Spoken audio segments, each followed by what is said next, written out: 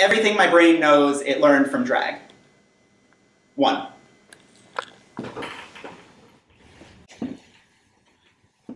What's the most acceptable face I can wear tonight? Or what is the opposite of that? Uh, highlight the cheekbone, the bridge of the nose, the, the bright and the beautiful, the parts pretty for pictures, hide the rest, the sharp, the visible flaw, contour and shadow away, the sad, the grief, the, the parts of the body unfit for the public eye, or, or, or maybe the ones you just want to transform, tighten, train the waist, thread the hips through a needle's eye, and sew the self-hatred into sequins. Look, I spent an adolescence corseting myself via the bathroom scale, no dinner, run the extra mile, depression, anorexia, skinny, legend, two. Look, if nothing else, at least the performance. Get the money, snatch the bills, how I've seen dollars fly out of my own hands for the kind of life that takes investment the pills, the doctors, the appointments, the cost of staying alive with a sick brain. Turn the party, girl. And, and trust me, I know the drill, like, maybe just lip sync. Not everyone came out here to listen to what you have to say, and, and that's okay. They might just be here for a good time. Maybe try mouthing along to something that could actually make a room full of strangers feel happy and safe. Maybe something they can dance to.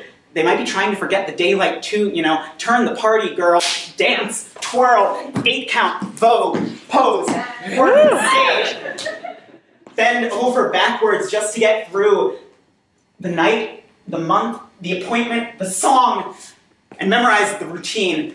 Milligrams, vitamin D, eat, shower, therapy, exercise, pills, Spread yourself thin, feel the brain split and crash to the floor. Death drop, dip, trust, fall, unsure where you'll land, but.